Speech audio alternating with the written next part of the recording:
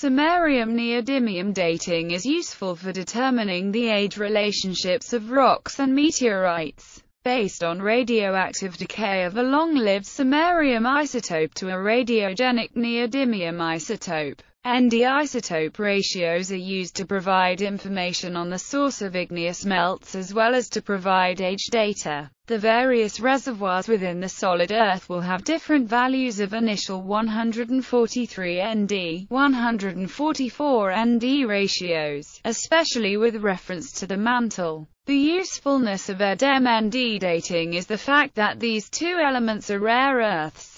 They are thus, theoretically, not particularly susceptible to partitioning during melting of silicate rocks. The fractionation effects of crystallization of felsic minerals changes the EDEM-ND ratio of the resultant materials. This, in turn, influences the 143 ND, 144 ND ratios within growth of radiogenic 143 ND. The mantle is assumed to have undergone chondritic evolution, and thus deviations in initial 143 ND, 144 ND ratios can provide information as to when a particular rock or reservoir was separated from the mantle, within the Earth's past. In many cases, EDEM-ND and RBC isotope data are used together. EDEM-ND radiometric dating. Samarium has five naturally occurring isotopes and neodymium has seven.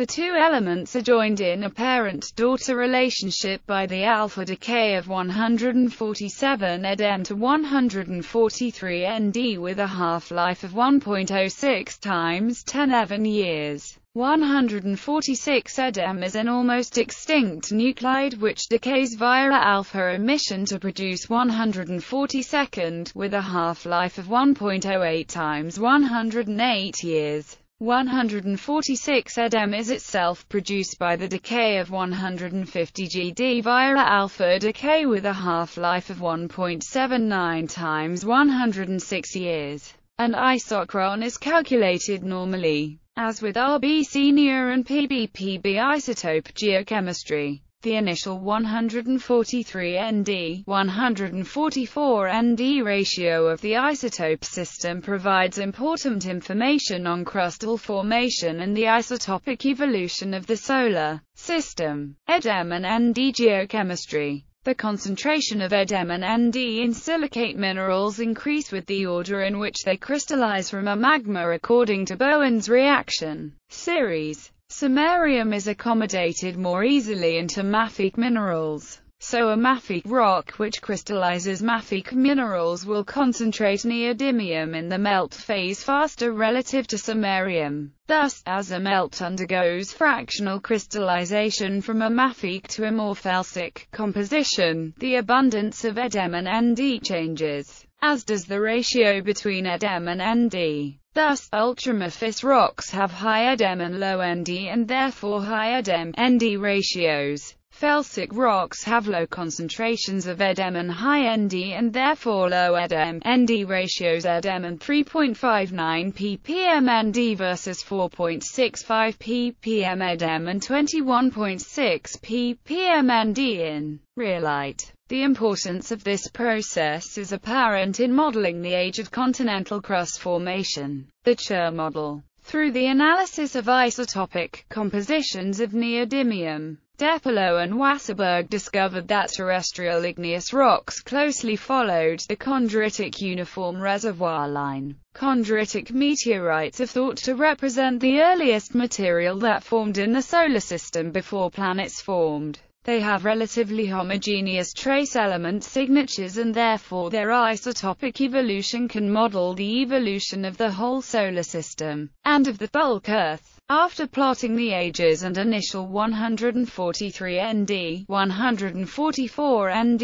ratios of terrestrial igneous rocks on a ND evolution versus time diagram, DePaolo and Wasserburg determined that Archean rocks had initial ND isotope ratios very similar to that defined by the CHUR evolution line. Epsilon notation since 143 ND, 144 ND departures from the CHUR evolution line are very small. DePaolo and Wasserburg argued that it would be useful to create a form of notation that described 143 ND, 144 ND in terms of their deviations from the Chur evolution line. This is called the epsilon notation whereby one epsilon unit represents a one part per 10,000 deviation from the Chur composition. Algebraically, epsilon units can be defined by the equation. Since epsilon units are larger and therefore a more tangible representation of the initial ND isotope ratio, by using these instead of the initial isotopic ratios, it is easier to comprehend and therefore compare initial ratios of crust with different ages. In addition, epsilon units will normalize the initial ratios to Chur, thus eliminating any effects caused by various analytical mass fractionation correction methods applied.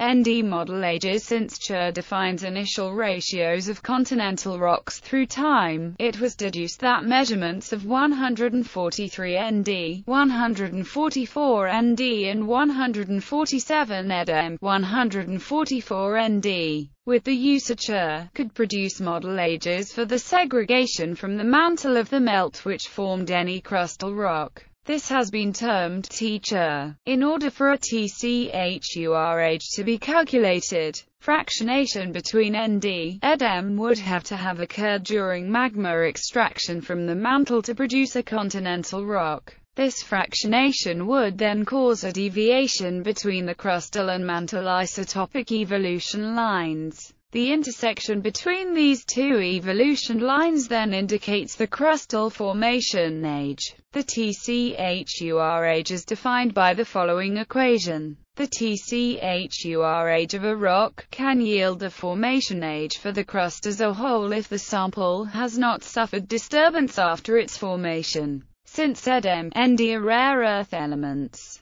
their characteristic immobility enables their ratios to resist partitioning during metamorphism and melting of silicate rocks. This therefore allows for crustal formation ages to be calculated, despite any metamorphism the sample has undergone. The depleted mantle model. Despite the good fit of Archean plutons to the Chur-ND isotope evolution line, DePaolo and Wasserburg observed that the majority of young oceanic volcanics lay plus 7 to plus 12 units above the Chur line. This led to the realization that Archean continental igneous rocks that plotted within the error of the Chur line could instead lie on a depleted mantle evolution line characterized by increasing EDM, ND and 143 ND, 144 ND ratios over time. To further analyze this gap between the Archean Chur data and the young volcanic samples, a study was conducted on the Proterozoic metamorphic basement of the Colorado Front Ranges. The initial 143 ND, 144 ND